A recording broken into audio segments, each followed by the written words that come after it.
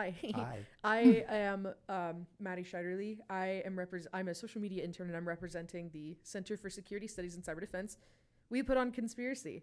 So that's this is our whole doing. We've been promoting this for a couple months, and I am here. Well, we're, we're a subsidiary of Anderson University, and I'm here with a very special guest. So if you want to introduce yourself, go ahead. Hi, yes, I'm uh, Darryl Togashi. I am the actually the uh, uh, chairperson for the executive uh, board for the uh, AU CSSCD. So I was Yeah. awarded that uh, earlier this year. And I'm also uh, the vice president for InfraGard, Indiana. So running for that. And then um, full time, you know, on my side job, I, I actually am teaching for uh, Purdue Global as a cybersecurity professional. So your job, inf- InfraGard, InfraGard, InfraGard. InfraGard. Is that um, what is that? Tell us a little bit about what that is. That is a, a private non-for-profit um, uh, organization that partners with FBI, and we uh, do a lot of partnerships with them to try to uh, bring out to the public sector and private sector um, infrastructure security, uh, different security um, uh, issues that are going on in the different sectors like finance, education, uh, communications, uh, water, filtration, those kind of things, electronics, uh, those kind of things with that. So Yeah. So tell us a little bit about um, how, like, your background, like how you came to be in this position where you are, like the the your your journey, sort of, to being. Well, I started out as being an operator in, a, in an old mainframe operations room, and that's where I started running reports and doing things like that. And I gradually worked my way up through being doing cabling, doing infra, uh, network infrastructure. Uh, back in the day where security wasn't much of an issue, it was more physical security, you know, trying to prevent people from getting into the data center or into the building, those kind of things. We didn't have much, inter- we didn't have internet at the time, so there wasn't a, a remote access until wireless came into play. So I grew up through those ages, and then I became more of a manager. I um, did software development. I managed software developments internationally, Philippines, India, uh, United States, uh, and then I also managed an enterprise uh, company, which I was a network, uh, which was out of Brazil and Spain. That we had uh, different things for that. So I kind of grew up through that, doing a lot of hands-on things.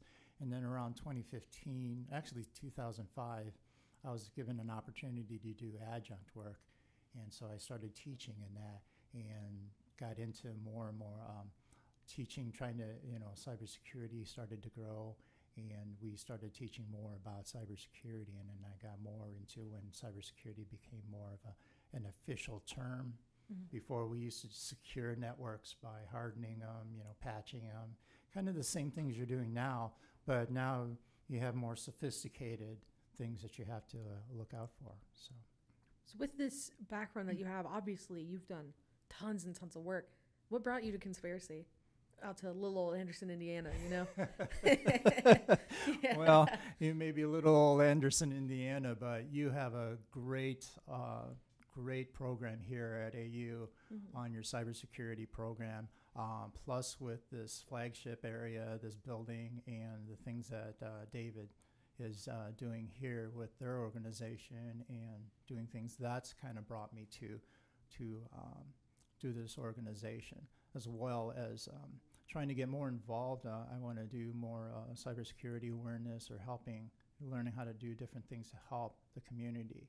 And through IECC, which is the uh, uh, Governor's Council, um, trying to do a lot of different things like that. I like partnering with organizations like uh, CSCD, you know, that um, can help us um, kind of bring some of that on because you do have a lot of good programs. Your president is, is uh, yeah, has a lot Yeah. of contacts and which has really helped out a lot and it's very impressive. Yeah, when I first came here, I had no idea that he had worked like he like made the TSA basically. Mhm. You know, like Mhm. that. Like that's I don't know. It's just so interesting because I never imagined college presidents like doing that, like working with presidents and stuff. So it, we've been it's been extremely amazing.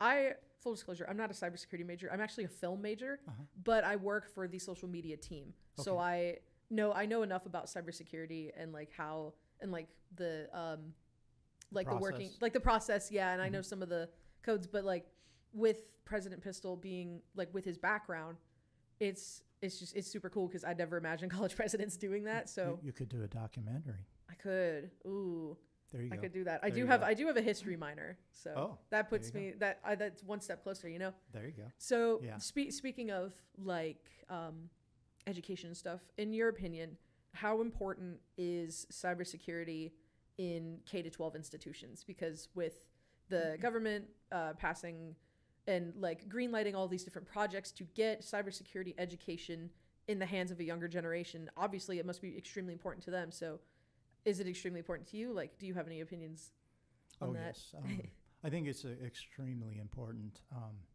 let me uh, kind of explain that.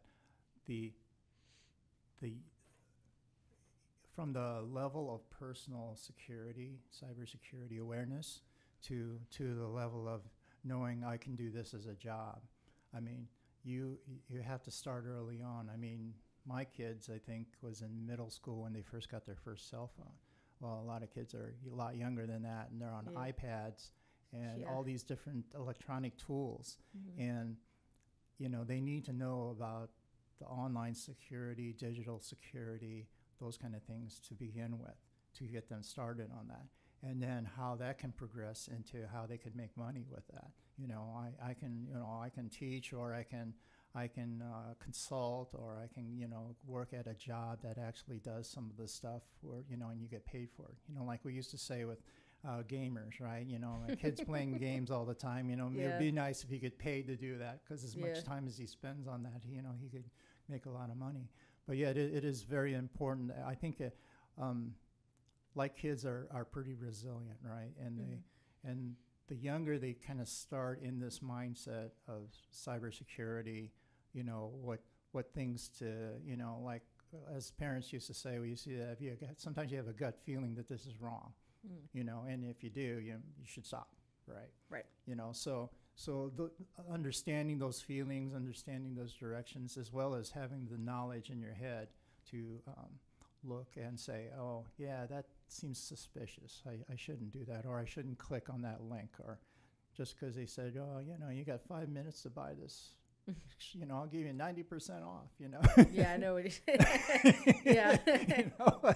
Yeah. and then they have this clock ticking down you know it's the "Oh, yeah, suspicious gotta- pop-ups, you know. yeah, I gotta buy it. Yeah. but um, but yeah, and and I think the for us as adults or as as uh, the experts to be able to look at how how can we pass on that knowledge in a way that you know will interest them, and then to reach the diverse or diverse group.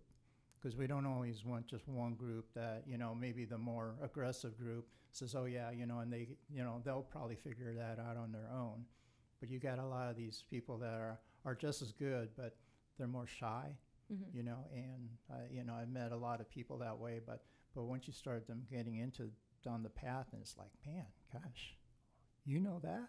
oh yeah, yeah, I kind of know that. You know, oh, Yeah. you know, and then they, oh yeah, I, I, I forgot to tell you I did this. You did that, you know, and so trying to get those people to kind of come out or kind of like a, as we used to talk about as a safe zone Mhm. because sometimes I think kids, you know, just the demographic. Sometimes kids, you know, can be mean, you know, and you know, oh, you know all that stuff. You're just a smarty pants, you know, or something like that, Yeah. you know. And so you you need to have t- kind of like a safe zone for them to say, oh, they can kind of reach out and they can kind of develop, you know, without feeling like they're gonna, you know, that they're gonna be ridiculed or anything like that.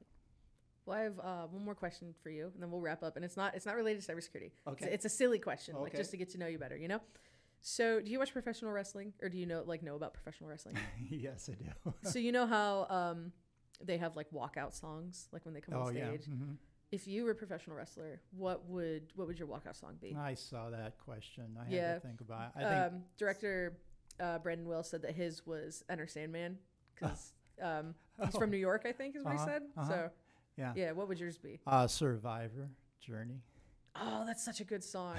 I know I know exactly what you're talking about. Yeah. I told him I said Um, I am actually I live an hour like I live an hour north of Pittsburgh is where I'm Oh. originally from. Okay. So with with the Steelers, uh, Uh-huh. their fourth quarter Uh-huh. like song is "Renegade" by Styx. so I said that would be a good choice. Uh-huh. But now that I'm thinking about it, I think I'm a huge Prince fan. Oh, so yeah. mine might be mine might be "Let's Go Crazy." oh, You know, yeah, that's I think a good that'd be song. a, that'd that's be a, really good song. song. Yeah. Yeah, I love I love music. Music is a like a huge thing Uh, for me. I, so. I, um, I uh, was a music major. I played violin. Oh. violin. I play violin and guitar and keyboards. Awesome. and, My, uh, um, my boyfriend is a music major, so he plays he plays bass, he plays guitar, he can do keys. I play Okay. drums. Oh, I was in drumline for four years in high My- school, so My son did drums. it's yeah. awesome. It's so much fun. Just you know, just going just going at Yeah, it. Yeah, he so- was on drumline too. so, yeah. What uh, what drum did he play? Uh, he played the the The Quints? Yes. Get out of here. Me too. oh, really? I played well. I played snare for three years, and then I was drum captain. I played Quints my last year, so that was Oh, my okay, senior. So that was awesome. yeah. Yeah. Oh, Got sidetracked, but That's our, okay. that's our closing question. So thanks so much for agreeing to be a part of this podcast, Oh, well, and thank thanks you. for coming to Conspiracy. Appreciate it. Thank Yeah. you. You got a great place here. Thank Yeah. you. Thank you so much. This has been awesome. I want to see that documentary. when I get to it, I'll, when I get to it, I'll send it to you. I'll find- Absolutely. I'll find you. I'll send it right to you. Absolutely. Thank you. Thank you.